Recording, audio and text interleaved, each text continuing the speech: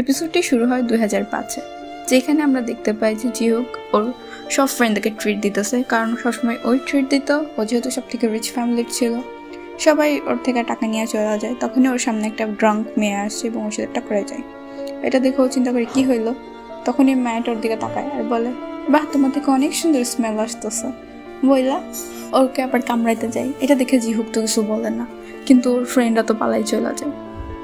তখনই আমরা দেখতে পাই যে আমরা ওরা দুজনে একটা মাঠের মধ্যে আসছে এবং জিও মেয়েটাকে একটা ড্রিঙ্কস দিতেছে। মেয়েটা বলে, আসলে আমি একা। আমার বাবা মারা যাওয়ার পর থেকেই আমি একা। দু সেকেন্ড মার্চ থেকে আমি একা। আমার আর কেউ নেই। আমার মা আছে বাট সে আমার অত খেয়াল রাখে না। আর সত্যি বলতে আমার একটা বেস্ট ফ্রেন্ড আছে, কিন্তু আমার যখন দরকার থাকে তখন সে আসেনি। আর আমার ব্রেকআপ হয়ে গেছে, এই জন্য আমি ড্রাঙ্ক এটা শুই না তোমার একটা বেস্ট ফ্রেন্ড আছে, তাহলে সে কোথায় বলে? আমার বেস্ট ফ্রেন্ড আছে, কিন্তু সেও এখন কোথায় জানি না। আর তার সাথে আসলে আমার ফিল হয় যে আমি একটা লুজার তো তাহলে তুমি ওর সাথে না। বলে, ও ছাড়া আমার কেউ নাই। আমি চাই একটা সেটেল লাইফ আমার আশেপাশে আমার নিজের লোকজন থাকবে, ব্যাস। এটা শুনে জিহুক বলে, যে তাই বলে হ্যাঁ কিন্তু আমার কেউ নাই। এই জন্য আমার মনে হয় আমি সব থেকে বড় লুজার এটার বলার পরে জীবনকে জিহুক বলতে থাকে, তোমার থেকে তো বড় লুজার আমি। কারণ আমার লাইফে আমার মা ছোটোবেলায় মারা যায়, তারপর আমার বাবা আরেকটা ম্যারেজ করে, সেখানে একটা ভাই থাকে, কিন্তু পুরো ফ্যামিলিতে আমার নিজেকে আনওয়ান্টেড মনে হয়। এটা শুনে জন বলে হ্যাঁ তার মানে তুমিও লুজার বলে, এটাই শেষ না, কিন্তু আমার বাবা ওই ফ্যামিলির সাথে নেই, আমার বাবাও মারা গেছে। বলে তার মানে তুমি আমার থেকে বড় লুজার এভাবে কথা বলো, আর জিও ইউকো ওর সাথে থাকতে বেশ এনজয় করতেছিল। দুজনে ড্রিঙ্ক করে, আর ওখানে মাঠের মধ্যে শুয়ে পড়ে। আমাদের জিয়ন তো ঘুমাই পড়ে, কিন্তু জিও জায়গা জায়গা ওরা দেখতে থাকে। সকালবেলা যখন জিওকের ঘুমটা ভাঙে, তখনও দেখতে পাই যে ওর আশেপাশে কেউ নেই। এবং ও চিন্তা করতে থাকে যে মেয়েটা কই গেল। পরে দেখি যে ডংসুকের সাথে ও ফাইট করতেছে। ডংসুক ছিল অলিম্পিকের মেম্বার কিন্তু তারাও পিটায় পুটাই দিছে। ডংসুক তো খুব গায়ে লাগে যে একটা নর্মাল স্টুডেন্ট আমার কেমন এভাবে পিটাইতে পারে? তখনই দেখি যে আমাদের জিওক বাইরে এসে বসে থাকে এবং বাইরে এসে একটা মেয়ের গলা শুনতে পারে। যখন ওকে দিয়ে দেখে, তখন এটা ছিল জিওন জিওন একটা বিড়ালের সাথে কথা বলতেছিল আর বলতে জানো কি হয়েছে? কালকে আমি একটা ওল্ড ম্যানের সাথে মাঠের উপর শুয়েছিলাম। আমি তো না হয় ছোট একটা তেইশ বছরের মেয়ে, কিন্তু ওর তো বয়স্ক মানুষ, ওর তো বোঝা উচিত ছিল। এগুলো পিস থেকে শুনে জিওকে তো হাসি পাচ্ছিল, হাসতেছিল আর শুনতেছিল। তখনই বলে, যে না, আমি এতও ছোট না, আমি তেইশ বছরের হয়ে গেছে, এখন আমার নিজের খেয়াল নিজেই রাখা উচিত। আরও চলে যায়। কিছুক্ষণ পরে ডংসক যখন ডংসকের সাথে জিও বের হয়, তখনও জিজ্ঞেস করে আচ্ছা আমার কি দেখতে বয়স্ক লাগে? বলে ওদের দিকে স্মাইলও করে অকওয়ার্ডলি যেটা দেখে ওরা তাড়াতাড়ি অ্যাভয়েড করে চলে যায়। আর জিহুক পাশে তাকায় দেখে যে ক্যাটটা খাবার খেতেছে যে ক্যাটটার সাথে আমাদের জীবন কথা বলতেছিল। ও বুঝতে পারে, এরপর থেকে দেখা যায় যে ডেলি ডেলি জীবন ক্লাস শেষে আসতো ক্যাটের কাছে এবং জিহুকও যাইতো। যখন আমাদের স্নো টাইম চলে আসে জিহুক ক্যাটের জন্য একটা বাড়িও বানায় দেয়। এভাবে ক্যাটটার প্রয়োজনীয় জিনিসপত্র কখনো জিও কখনো জিও কিনতে থাকে। ক্যাটটার কিন্তু ভালোই রমরমা দিন যেতেছিল এভাবেই একদিন ক্যাটটা চলে আসে গাড়ির সামনে। আসার পরে ওকে জিও বাঁচায়। আর চিন্তা করে যে আমার হাতে অনেকগুলো টাইম ছিল, কিন্তু আমি কোনটাকে ভালো মতো ইউটিলাইজ করতে পারি নাই জিও জিওনকে পটানোর জন্য। এরপর যখন দু হাজার এগারোতেও আসে জিএম হিসাবে কোম্পানিতে তখন ওর আবার জিওনকে খুঁজে পায়। কিন্তু তখন ও বুঝতে পারে যে ওর অলরেডি একটা বয়ফ্রেন্ড আছে এবং এটা অনেক সিরিয়াস যার জন্য ওকে পারসিউ করতে পারে না এবং দূর থেকে ওর জন্য হ্যাপি হতে থাকে। বর্তমানে যখন আমরা দেখি যে ঘুমাচ্ছিল এবং এগুলো চিন্তা করতেছিল, তখনই ও ঘুম ভাঙে এবং বলতে থাকে যে, এখন আমার হাতে আর একটা অপশন আছে, এখন আমি এটাকে ইউটিলাইজ করব।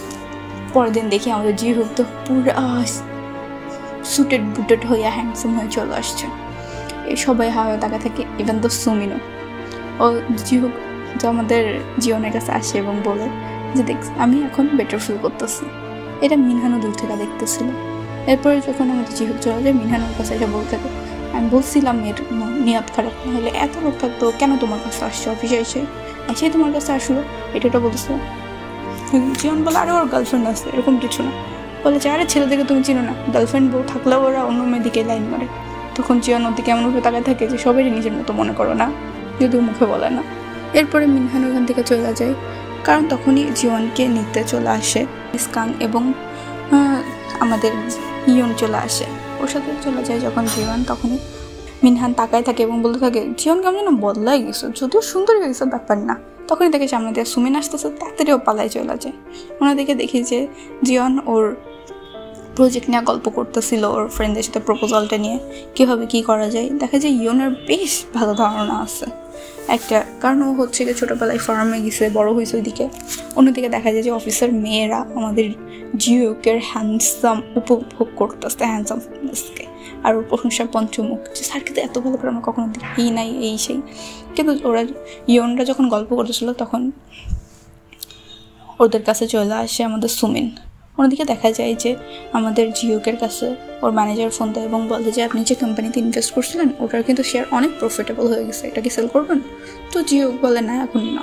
ফোন কাটার পর দেখা যায় যে ম্যানেজার আসলে ওর দাদার সামনেই আসে এবং দাদা বলে ওর দিকে একটু খেয়াল রেখো তো, ওর ভাবসাব ভালো লাগতেছে না। সুমিন এসে বলতে থাকে, আরে, আমরাও ছোটোবেলায় অনেক খেলাধুলা করছি, কিন্তু তারপরে তো আমাদের জীবন শহরে চলে আসে সলে, কিন্তু তাও আমি থামি নাই। আমি প্রতি সপ্তাহে তিন, চারবার করে আসতাম সলে ওর সাথে খেলা করতে বিচে যাই খেলতাম, মাটি নিয়ে খেলতাম, এইসব মানে ছোটোবেলা কথা বলতে থাকে। তো ইয়ন বলে তার মানে তুমি ওকে কষ্ট মিশতে দাও না। বলে, এটা না, ও একা ছিল, তাই আসছে। মানে দুজনে কথা বলতে থাকে। এখানে বুঝতে পারি যে আসলে আমাদের জীবনকে নতুন কোনো ফ্রেন্ড বানাইতেই দেয় নাই কখনো সুমিন। সবসময় ওর সাথে চিপকায় থাকছে এবং বোঝাইছে যে তোমার, আমি ছাড়া কেউ নাই। ওদের কথাবার্তার মাঝেই তখন ম্যানেজার পেছন থেকে চলে আসে এবং আইসাই সবাই ধমক দেয় যে, তোমরা কি গল্প ছাড়া কিছু পারো না? বইলা জীবনকে ওর গাড়ির চাবি দেওয়া বলে, আই, আমার গাড়িটা পার্কিং করে দিয়ে আসো, ভালো করে দিয়ে আসব। বইলা, ও যখন জীবন যায়, ওর গাড়িতে একটা লাথি মারতে ওর মনে চাইছিল, কিন্তু মারে না। গাড়িটা পার্ক করে যখন আসে, তখন লিফটের মধ্যে চিন্তা করতে থাকে যে, এখন চাই আমি সামনে সুমিনকে দেব কারণ অতীতেও এটাই হয়েছিল। তখনই ও দেখে যে হ্যাঁ সুমিন ওর সামনে দাঁড়িয়ে আছে।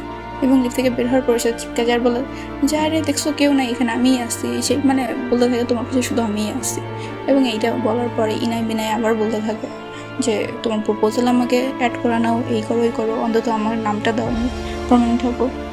জীবন কোনো মতো ওরে অ্যাভয়েড করতে করতে চাই কিন্তু তখন ওর হাতটাও ধরে খুব উদ্ভট একটা ফেস করা বলে, তুমি আমার উপর রাগ রাগ হলে বলো? মুখোমুখি? এভাবে করব না।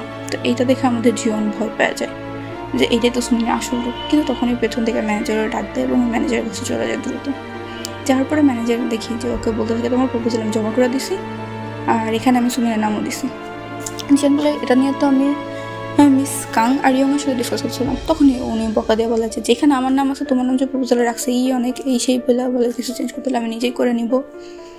জিয়ন বলে, না, এটা পারফেক্ট আছে প্রপোজাল এটাতে কিছু চেঞ্জের দরকার নেই। কিন্তু উনি তো শুনে না, উনি বকবক করতে থাকে এবং জিয়নের মনটা অনেক খারাপ হয়ে যায় ও চলে আসে। আসার পরে সামনে দেখে যে জিওকে জিওকে বলে, রাতে কি করতেছো? এটা শুনে জীবন বলে যে, আমি রাতে বিজি আছি। দেখা যায় যে রাতে তো চলে আসছে আমাদের ইউনহুর কাছে। ইউনহুর কাছে বাড়ি এসে ওরা দুজনে গল্প করে এবং ওই লেটারটা দেওয়ার পরে জানতে পারে যে, আসলে তো ওইটা জীবন লিখেই নাই, ওটা লিখছিল সুমিন। অন্যদিকে মিনহানুকে কলের পর কল, কলের পর কল করতে করতে যখন পায় না তখন ও ফোন করে সুমিনকে। সুমিনও পরিস্থিতির ভালো ফায়দা উঠায় মিনহানকে বললে যে আরে তুমি জানো না, জীবন হইতেছে।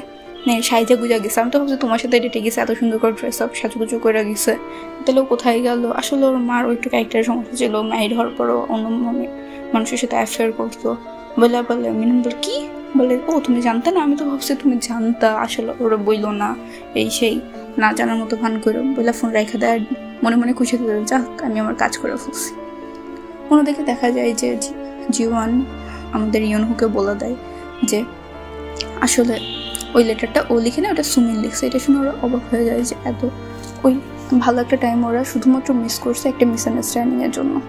যখন ওরা বাইরে আসে, তখন ওকে ইয়নহো বলতে থাকে, কিন্তু ও বলে যে, আমি এখন বয়ফ্রেন্ড আসছো না। আমি আর তোমার কোনো চান্স নেই। এটা শুনে ইয়নহো বলে, ও, ওই চশমা পরে সুটের পুটের লোকটা যে অনেক দামি ঘুরি পরে। এটা শুনেছি এইটা কি? মিনহান তো কোনো কিছু করে না। তখন আবার যখন ফিজিক্যালি আরও বেশি ডিসকাস মানে ল্যাবরেটরি বলতে থাকে ওর ফিজিক্স ব্যাপারে, তখন ও বুঝতে পারে ও এটা জি হিউকের কথা ও বলতেছে। বলে, যে তুমি জিজ্ঞেস করো যে আমার ব্যাপারে এত কেন? বলে হ্যাঁ ওই দিন বিয়নে আমাকে উনিই পাঠাইছিল। তোমাকে নিয়ে এত বেশি টেনশন ছিল যে আমি জিজ্ঞেসই করি না ওর নাম কি বা ও কে হয় তোমার। এটা হচ্ছে তোমার বয়ফ্রেন্ড আর জিওনও বুঝতে পারে যে এটা কার কথা বলেছে। অন্যদিকে ওদের দুজনকে দূর থেকে দেখতে থাকে আমাদের জিও এবং ও গাড়ি ড্রাইভ করে চলে যায়। জিওনও সুপার শপ থেকে চলে আসে। আসার পরে বুঝতে পারে যে কেউ ওর পিছু আসছে। তো দৌড়াতে থাকে তখনই মিনহান এসে ওরা ধরে আর বলে, যে তুমি এখানে কী করতেছো? বলে, আরে তুমি এখানে মামা মসজিদের পিছনে ছিল। আরে, এত মেকআপ করে বই গেছো? তোমার কাছে অনেক স্ট্রং একটা পারফরমেন্টের শুনে তো জীবন অপর হতে থাকে। তখন ওর মার কথাও বলতে থাকে এবং জীবন বুঝতে পারে যে তেমন মানে এই কথাগুলো সুমিনি লাগাইছে। কারণ ওর মার ব্যাপারে সুমিনি জানতো। মিনহান তো কখনো জানতোই না। ও বুঝে যায়, কিন্তু তখনই ও যখন অ্যাভয়েড করে চলে যেতে যাবে, মিনহান ওর হাত অনেক জোরে ধরে যাতে করে ও ব্যথা পেতেছিল। তো বলে, মিনহান, দেখো, আমার হাতটা ছাড়ো ব্যথা পেয়ে কিন্তু ওর হাত অনেক জোরে ধরে। তখনই মিনহানকে কেউ একজন এসে পাশ করা উল্টায় পুল্টায় ফেলে। আর মিনহান তো বালির মতো গড়াগড়ি কাটে থাকে। এটা আমাদের জিহুক ছিল। আসলে জিহুক যখন ওকে বারবার ফোন দিতেছিল, জিয়ন তো মিনহানের জ্বালায় ফোন অফ করে রাখছিল। তো অবশেষে জিহুক যখন ফোন দেওয়া ওরে পায় না, তখন ওজন টেনশনে আবার আসতেছিল। আইসা তখন দেখে যে এই অবস্থা। তখনই জিহুকের মনে পড়ে যে, ওই তো ভবিষ্যতে আবার জীবনকে মারছিল। এই জন্য ওর আগে ওরা আরও বিরাট টপাস টপাস করে এইগুলো সিচুয়েশনে মিনহান তো ভয়ে পালাই যায়। তখনই আমাদের মিনহান পালাইতে পালাইতে মাঝ রাস্তা যাবে লাগে, আমি পালাইতেছি কেন? আর ওরা দুজন কেন একসাথে বইলা একটা কিছুর মধ্যে লাথি মধ্যে যে একটা পাশ করে নিচে আবার উল্টায় পড়ে যায়। অন্যদিকে দেখা যায় যে জীবন মন খারাপ করে বসেছিল তখন ওকে একটা ড্রিঙ্ক এনে দেয় জিহুক আর ওকে বলতে থাকে তখন, কিন্তু আমাদের জীবন তো ওরা কোশ্চেনের বৃষ্টি ছড়ায় দেয়। যে কী ব্যাপার? আপনি এখানে কী করতেছেন? কেন আসছেন? এই টাইমে কেন? এই সেই। কোনো বলে, আসলে তোমার জন্য টেনশন হইতেছিল এই জন্য। আর আমি তোমাকে লাইক করি। বলে, আমি ভাবছিলাম মিনহানি সব থেকে খারাপ, কিন্তু না মিনহানি থেকেও খারাপ আছে। আপনার ইউনের মতো একটা গার্লফ্রেন্ড আছে আর ইউন আমার মাত্র ফ্রেন্ড হয়েছে। আপনি এটা কীভাবে করতে পারেন? এইটা শুনে তো জিও অবাক হয়ে যায় আর বলে থাকে, আরে না, ইউন আমার গার্লফ্রেন্ড না।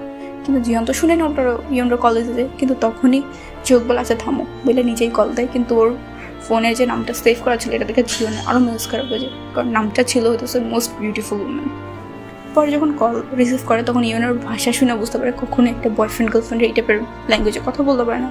কাটার পরে জিয়ন নিজে নিজে চিন্তা করতে থাকে, তার মানে কে হইতে পারে? তখনই ওর মনে পড়ে যে দুজনেরই তো সেম তার মানে কি বোন? তখন জিও বলে হ্যাঁ ওই আমার বোন।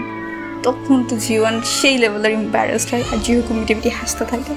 আর জিও বলে দেখো, আমি তোমাকে লাইক করি এবং মন থেকে লাইক করি আমি সিরিয়াস অ্যাবাউট ইট আর জীবন মুখে আদ্যা তাকে থেকে যেটা কী হইল? অন্যদিকে দেখিস সুমিন ওদের দুজনকে দেখা পেলে আর সুমিনের কাছে তখন মিনহান কল দেয়। ওদের দুজনের মধ্যে কী কথা হয়, এটা কিন্তু আমরা জানি না। যখন জিও জিয়নকে বাসায় পৌঁছে দিতে আসে, তখন ওর কাছাকাছি চলে আসে এবং জিয়ন তো ভয় পায় যে কী করতে সেই ছিল। কিন্তু ওর উপর সেন্সলেস হয়ে পড়ে যায়। এখানে আমাদের এপিসোড ফাইভ শেষ হয়। দেখা যাক জিওন জিওকে আসলে অ্যাকসেপ্ট করে নাকি ঝুলায় রাখে। See you in next episode tata bye bye to like comment and subscribe my channel thank you